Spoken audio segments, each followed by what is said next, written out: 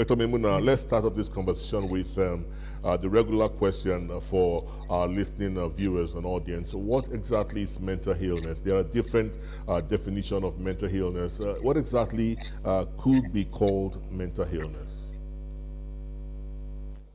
Um, so mental illness is a medical condition. Mental illness is a medical disorder. Medical uh, illness is a medical challenge. And this is where we, uh, we actually need to educate the general public because now we have a law, right? But the difference, right? I, I think before I go into what a disorder is, it's good for us to know what the normal is. Um, because if you look at the abnormal, you may not understand where the normal is coming from. So there's a difference between mental health and mental illness. So, like you said, what is mental illness, right? Which is a disorder, which is a you know challenge, an issue. But what is mental health? It is so beautifully de- you know, defined by the World Health Organization the ability for an individual to do these four things. And the reason why I say four things so that you can pick them you know easily and very relatable. If i just ram through the whole definition without you know breaking it down you may be confused. So i just want nigerians to be be to understand this relatably and understand it very quickly so it's the ability for an individual, you, I, all of us, right, to have the potentials. Number one, the potentials to re, to the ability to realize your true potentials. That is one part of it.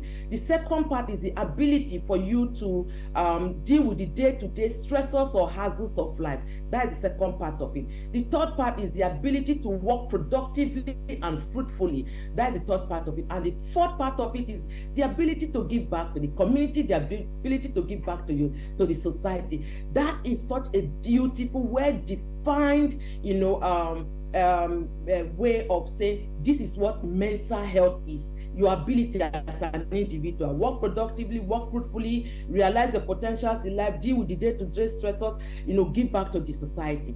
But now what is the difference between that and mental illness? Mental illness is a medical condition like i said it's a disorder that affects the way you think the way you act, and the way you behave.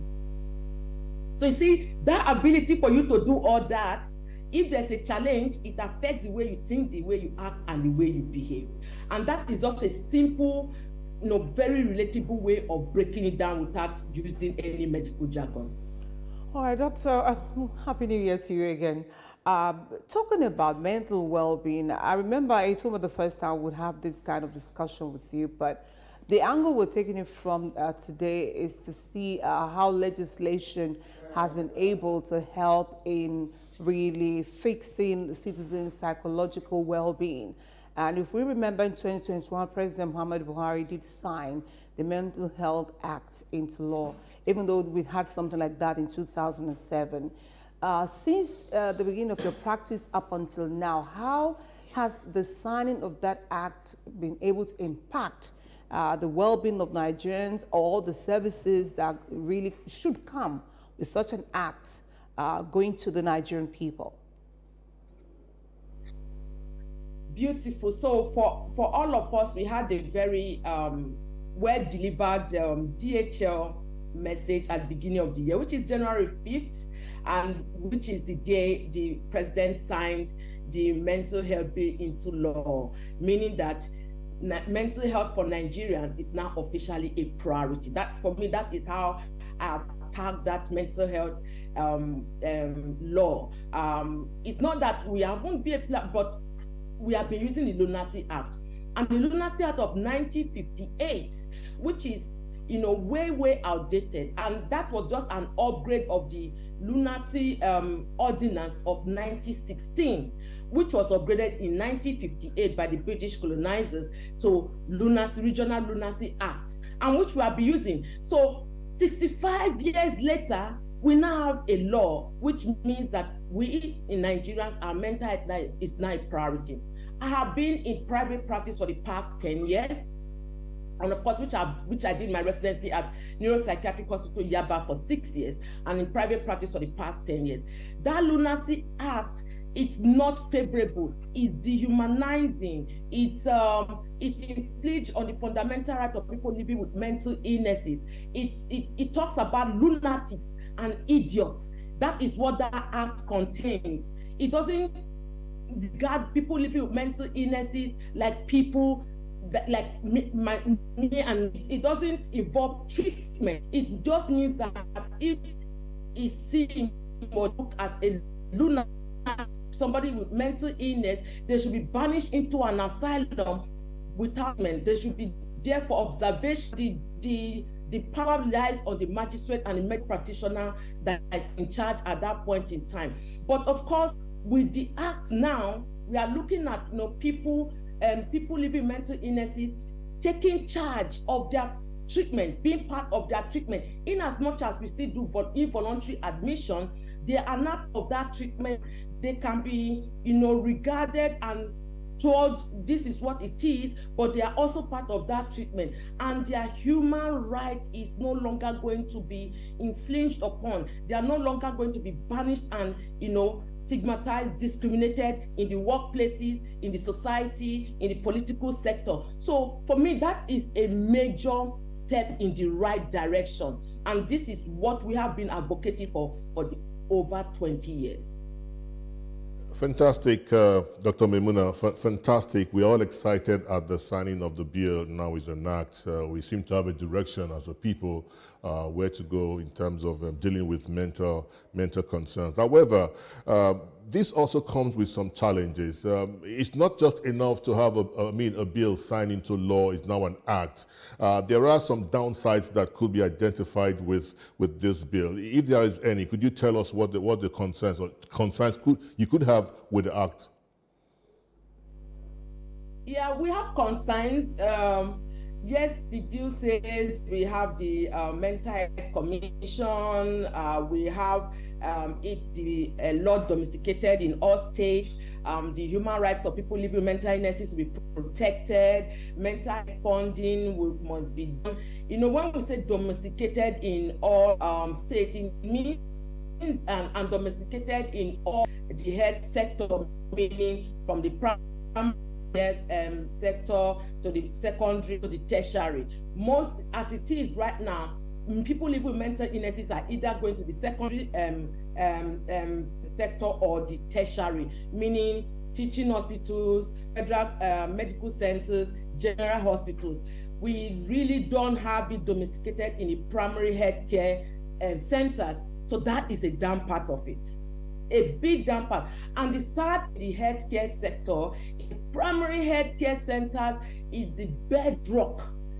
It's such a foundation for the for the healthcare sector to, to move, to be better, to be well grounded for people to access um, no, not only mental health services, healthcare services that are accessible, affordable, available, and of course acceptable to the people. And so, if we say we have to domesticate this law in all stratum of the strata of the um, healthcare, from primary healthcare to the tertiary, there is going to be an issue because we don't have the right requisite expertise in those sectors. We, in fact, our primary healthcare centers, most of them are not working. A lot of them are being, um, um, you know, um, taking, uh, they've been taken over by goat, sheep, and you know, abandoned, right? So we know we are going to have a problem in that aspect. But like I said, the law is already there. Of course, it will be gazetted, it will be pushed into the general public. We'll see what it is, and we will start the implementation. So for me now is ensuring implementation. Ensuring implementation, let us even get it domesticated. Beauty about that part is that aside from we advocating um, uh, media around sensitization, like what we are doing right now to people to understand that there's not a mental health law, there's a beautiful, well-designed, tested, reliable, validated document by the World Health Organization called the MHGAP, which is Mental Health Gap Action Program. That is a program that already been done and is with the WHO and we all have it with those of us in this sector. It is a document that is supposed to be used for capacity building in those kind of settings that are not clinical settings. So setting schools, churches, um, workplaces, care centers, those can be used to train the uh, community health extension workers there on how to elicit early signs and symptoms to illness, refer up. And when people come back to the community, they know what to do. So for us, that one damn part because we don't have primary healthcare centers well trained. Another damn part of it is the fact that we have one psychiatrist to 1 million Nigerians. We have five psychiatric nurses to like 100,000 Nigerians. So that is also a huge deficit. There's an exodus of mental professionals out of the country. And of course, there's, a, there's brain drain, there's JAPA syndrome. So infrastructural and human resources issue is also going to be a problem. Mm -hmm. But at least we have to start from somewhere. Yeah. Uh, we now have a law in place. Thank and you. that can now explore other areas we need to build up. Thank you so much, uh, Dr. Maimuna. I think for an average person watching this morning, it's maybe news to them. Now, which one is Mental Health Act again? When did it ever happen? I remember that we reported it right here, but many Nigerians, uh, just as it could happen in some other instances, to hardly, you know, know when some laws are passed uh, which can be beneficial to them. Uh, what are those things that the Mental Act that's in operation now, that's the one for 2021, cover? What are those things that it, it covers for people who may be in need of it? So, our new Mental Act now, which has been signed by the President, which was done January 5th, 2023, is going to eradicate and take away the Lunacy Act of 1958, which we have been using. And some of the benefits or some of the things in that um, act or that law is that it is going to ensure that Nigerians are properly um, taken care of. Our mental health is definitely now a priority, and of course, the fact that our well, the well-being of citizens through programs that will promote our mental health and prevent mental health and psychological disabilities are provided. There will be effective uh, treatment modalities. There will be domestication of the mental health laws in all um, states, meaning that there will be a mental health desk in all states then, of course, the human rights of people living with mental illnesses will definitely be, you know, looked into. So, because right now, stigma, discrimination, somebody is at work uh, because you have a mental illness, they will, you know, relieve you of your job why not somebody who has hypertension and diabetes? I listened to the program this morning on hypertension. I'm like, okay, people with hypertension are everywhere, you know, living their life and holding down jobs. What about people living with mental illnesses? So that law is also talking about protection of their human right. And of course, they're going to be part of their treatment as against the way in the Lunacy Act where they will be banished into an asylum, treatment wouldn't be given, and they are just there. And of course, they will also be safeguarded. So these are some of the things we are talking about. And of course, mental health funding, because the Abuja Declaration of 2001 said that at least 10% to 50% of the um, um, of our budget should go into health and like 3 to 5% should go into mental health. We are really hoping those things work because right now we do not have that. Nigeria has never dedicated up to 10% to um, healthcare financing, but at least we now have a law. And like I said, it's the right step in the right direction. And it, the onus lies on us, on, uh, stakeholders, in ensuring that the laws are not properly going to be implemented and executed. That is where most times we, our problem is in Nigeria. We usually have beautiful laws. Implementation and execution is most times our problem. And that is where stakeholders like us are going to ensure we do that. You know, the professionals, CSOs, human rights activists, uh, people living with mental illness. So it's going to take a multidisciplinary, multi-sectoral approach in ensuring that um, these laws are properly seen um, to be implemented and executed.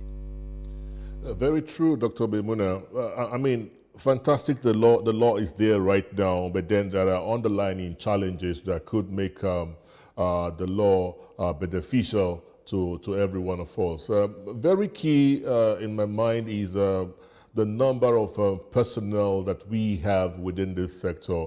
Uh, that I think is a very major challenge. Uh, in spite of whatever laws that we put in place to safeguard the rights and inform the people, if we don't have the right personnel and enough of them right now, I mean, it's as well as um, building on nothing. So I think how do we go about encouraging uh, more medicals to go into uh, treatments, areas of, area, areas of mental illness and treatments in Nigeria?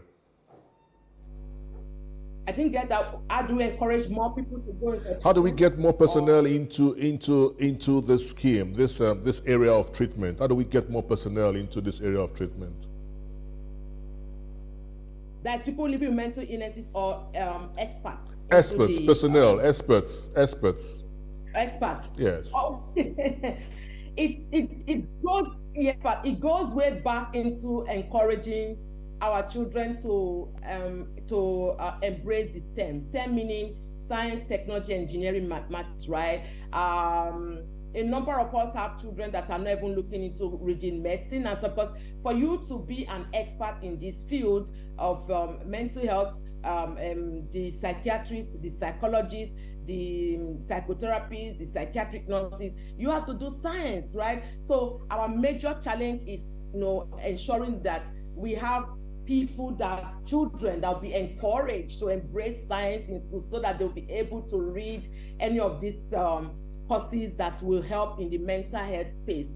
Um, I think that is where truly we need to, because you cannot force somebody who has read another course to come and then read a second degree. Even those of us that are doctors, before we become psychiatrists, we have to go to medical school and then now go into residency to be psychiatrists. Then, of course, psychologists after the BSc four years, they have to now do a master's to become a specialist, maybe a clinical psychologist, educational uh, counseling psychologist.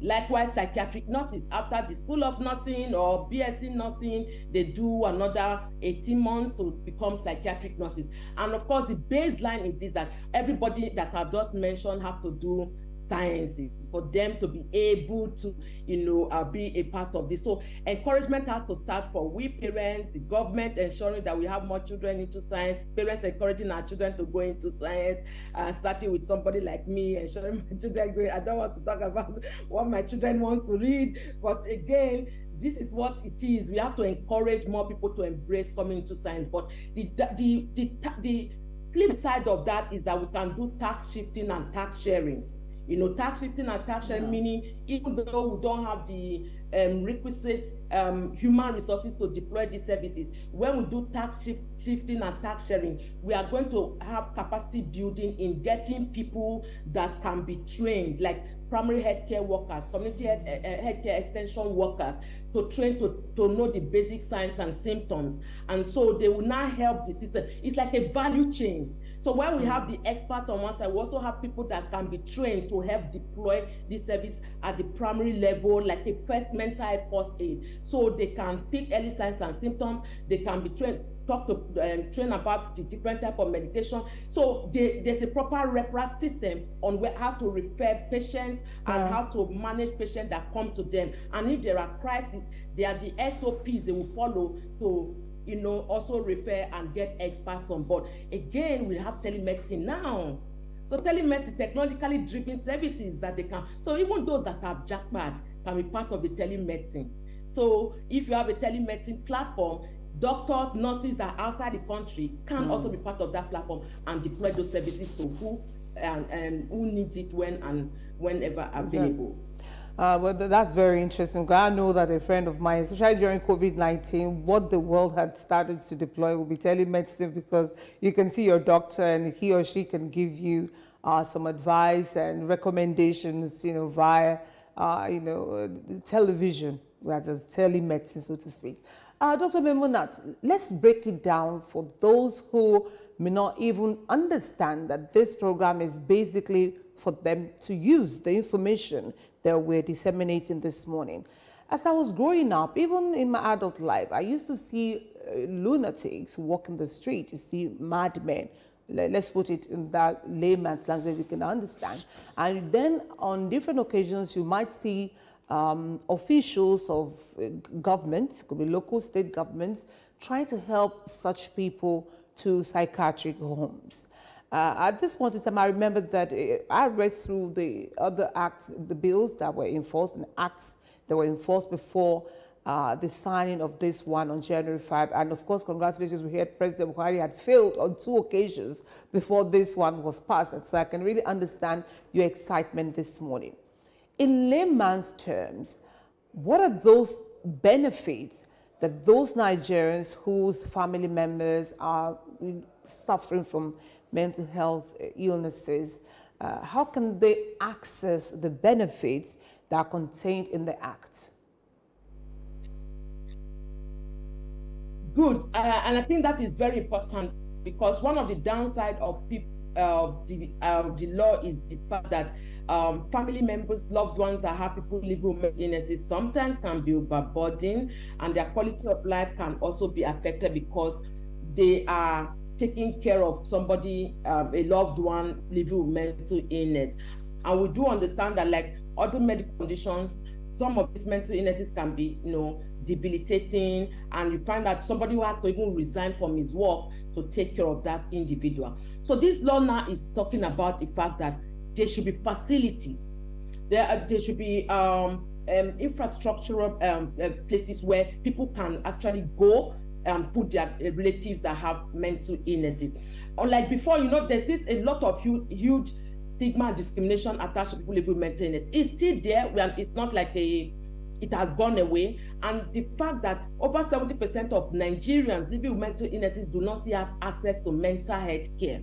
Yes, the down part is the fact that um, human resources are not there. But the encouraging part of family members that have people with mental illnesses right now is the fact that you now have a law that this um, your pe- your person living with mental illness can be taken into a hospital, can be seen, can be evaluated, can be taken care of. The human right of that individual would not uh, um, trampled upon. And of course, the lunacy talked about the fact that if you have a mental illness, your family, your property should be um, used to take care of you. Those are some of the things that we are we cannot, you know, in this current dispensation, be talking about that now in 2023. So family members, they are looking at accessibility, affordability, availability of these services. Are these services available? Yes, even though they are not you know the way it should be they are not everywhere are these services accessible yes because at least we have um, government establishment, federal medical centers, teaching hospitals. In fact, all teaching hospitals must have a mental health unit because that is one requisite for training medical students. Is, is it affordable? Not, not really. Healthcare is not even affordable in Nigeria. So this is where the National Health Insurance Scheme, or now there's an authority act, should also be deployed in ensuring that Nigerians' mental health services are well covered in this Authority Act and not sidelined. A lot of the HMOs don't even have the mental health services. Law is talking about whether it's the Authority Act, HMOs, they should have mental health services incorporated so that families that can even afford, they, they can insure their relatives and, and, and, and make um, the burden, the financial burden will reduce on them because if you pay for health insurance, it's automatically a, a good way to also save money and making sure that you get health uh, care whenever you need it. So this is what the law is a good um, benefit. Uh, family members will really benefit from because it's ensuring it's going to ensure that these all aspects must ensure must have mental health services incorporated and must be seen executed. So I think that for me, the biggest is that um, having insurance for, because out of pocket payment can lead to poverty. And we all know that inflation and uh, cost of living is very high uh, as it is right now. But when we do health insurance,